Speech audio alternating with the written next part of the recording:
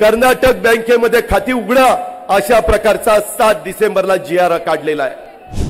आदरणीय पवार साहेब आदरणीय उद्धव ठाकरे साहेब सर्व महामोर्चामध्ये सहभागी झालेले सर्वच राजकीय पक्षाचे नाना बाकीचे सगळे C P I C P M Shekap Samajwadi party unite Janata Dal united सर्व घटक सर्व शिवप्रेमी जमलेल्या बंधू भगिनींनो आणि माझ्या तरुण मित्रांनो महापुरुषांचा सन्मान महाराष्ट्राचा अभिमान महाराष्ट्रवासियांचा स्वाभिमान कायम ठेवण्याच्यासाठी सध्या तुमच्या माझ्या राज्यामध्ये महाराष्ट्र द्रोह्यांना त्यांची जागा दाखवून देण्यासाठी त्यांच्या मनामध्ये धडकी भरण्याच्यासाठी हा हल्ला बोल मोर्चा आपण आयोजित केलेला आहे. या मोर्चाच्या निमित्तानं माझ्या मुंबई शहरातनं महाराष्ट्राच्या कानाकोपऱ्यातनं जे जे महाराष्ट्रप्रेमी आलेत त्या सर्वांचं मी मनापासून स्वागत करतो त्यांना धन्यवाद देतो त्यांचे आभार देखील मानतो. मित्रांनो गेले सहा महिने जे सरकार या ठिकाणी आलेलं आहे दुर्दैवाने महाराष्ट्राच्या मातीला भाऊबंदिकीचा फुटीचा गद्दारीचा शाप असला तरी संकट जेव्हा महाराष्ट्रावर असतं त्यावेळेस महाराष्ट्राचा स्वाभिमान महाराष्ट्राचा अभिमान महाराष्ट्राची अस्मिता तेव्हा महाराष्ट्र एकजूट होऊन पेटून उठतो. आणि पेटून उठल्यानंतर ध्येय साध्य केल्याशिवाय महाराष्ट्र शांत बसत नाही याची साक्ष देणारा हा महाराष्ट्र हा मोर्चा आहे. सांध्यापासून बांध्यापर्यंत वेगवेगळ्या भागातनं वेगवेगळे कार्यकर्ते आलेत महाराष्ट्र प्रेमी आलेत. खर तर ही वेळ काय यावी? महापुरुषांच्या बद्दल अपमानास्पद सातत्याने बोलण्याचं जे काही आता घडतंय त्याला कुठेतरी विरोध केला पाहिजे.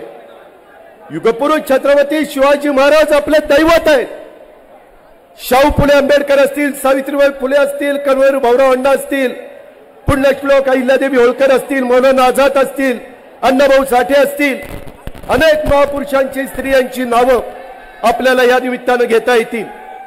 परंतु हे सगळं आपला अभिमान असताना ह्यांच्याबद्दल गरव ओकण्याचं काम बेताल वक्तव्य करण्याचं काम हे कशामुळे चाललंय? कोण याच्या पाठीमागचा मास्टर माइंड आहे? काय हे थांबत नाही? माणसाची चूक एखाद्या वेळेस होत असते. चूक झाल्यानंतर मा- माणूस दिलगिरी व्यक्त करतो माफी मागतो. ही आपली महाराष्ट्र संस्कृती आहे ही आपली महाराष्ट्रीय परंपरा आहे. मराठी माणसाला तशा प्रकारचे संस्कार केलेले आहेत. परंतु तसं घडत नाही. राज्यपाल बोलल्यानंतर दुसरे मंत्री बोलतायत. त्यांच्याच पक्षाचे तिसरे मंत्री बोलतायत.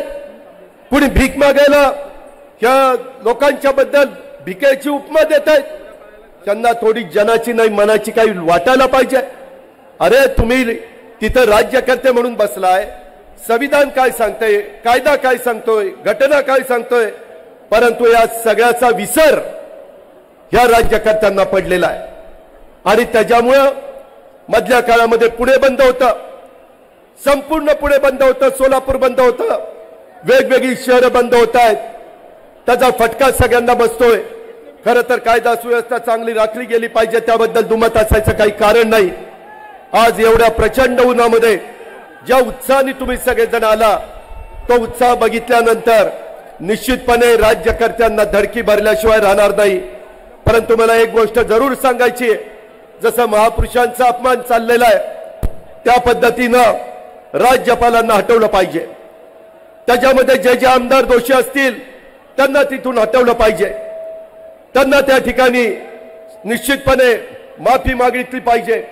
परंतु तसं होत नाही पुन्हा अशा प्रकारची पुनरावृत्ती होणार नाही. याबद्दल देखील उद्याच्या एकोणीस तारखेला विधिमंडळाचं अधिवेशन आहे. वेळ पडली तर त्याच्याकरता कडक कायदा करावा लागला तरी चालेल. विरोधी पक्षाच्या वतीनं सगळेजण त्याला पाठिंबा देतील.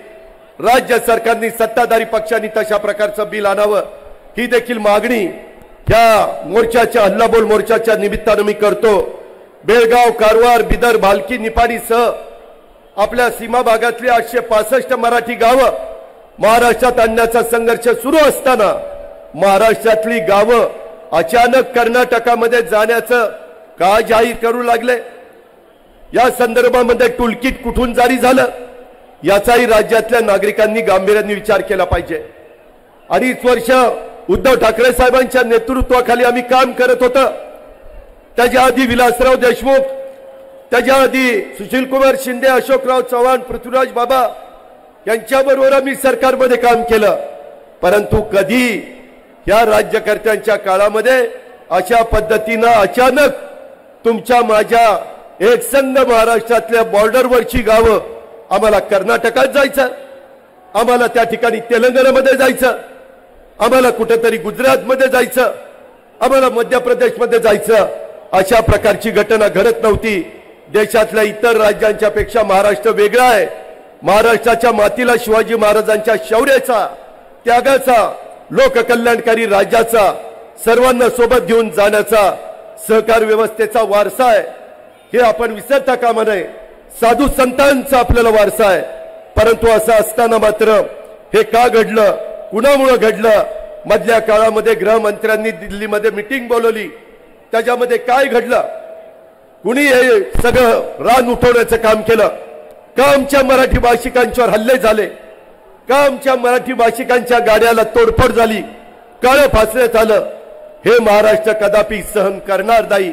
त्याकरता हा हल्लाबोल मोर्चा आहे. हे देखील आपण विसरता कामा नये. मी आपल्याला सगळ्यांना सांगतो खर तर हे शिंदे फडणवीस सरकार आल्यापासून गेल्या सहा महिन्यामध्ये राज्यातल्या महापुरुषांचा आव्हान व्हायला लागलेला आहे. महाराष्ट्रातील गावं कर्नाटकामध्ये किंवा शेजारच्या राज्यामध्ये जावई आज जातो अशी म्हणायला लागलेली आहे. महाराष्ट्राच्या मंत्रिमंडळ कर्नाटक बँकेचा निर्णय घेतं.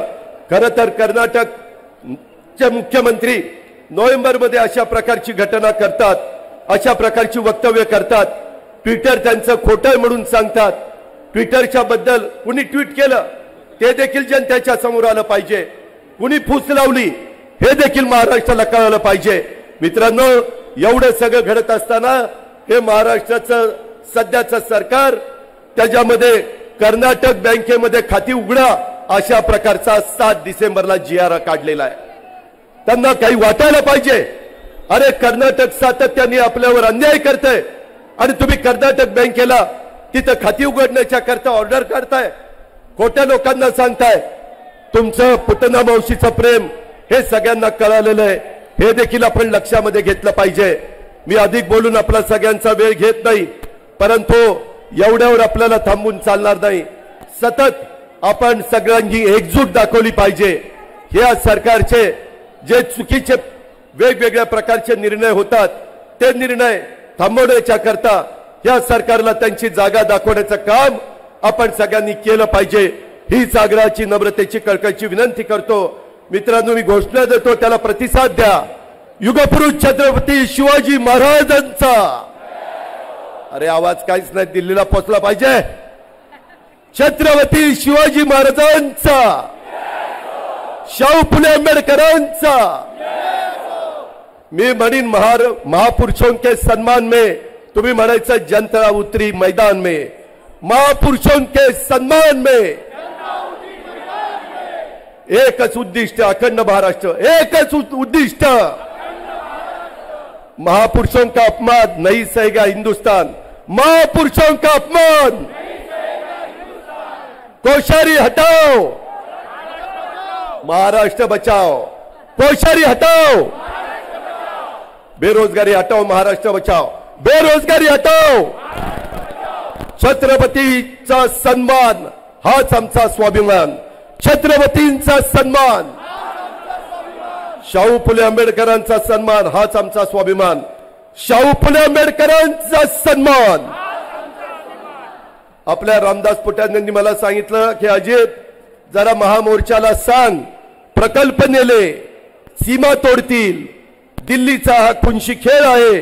महाराष्ट्राच्या रक्षणाची हीच खरी वेळ आहे हीच खरी वेळ आहे. हे आपण विसरता कामा नये. महागाई बेरोजगारी वाढलेली आहे. जाता जाता सांगतो बाबांनो अठरा हजार पोलिसांची भरती करायची. अठरा लाख युवकांनी नोकरी करता अर्ज केले. बेकारी वाढली नाही. कुणाचा पाप आहे? कुणाचा दोष आहे? राज्यकर्त्यांना कळत नाही. तेच जागा त्यांना आता जागा करण्याची आपल्याला दाखवायची. पुन्हा एकदा प्रचंड संख्येने आपण उपस्थित राहिला. त्याबद्दल आपलं मनापासून स्वागत करतो. आणि आपली रजा घेतो. जय हिंद जय महाराष्ट्र.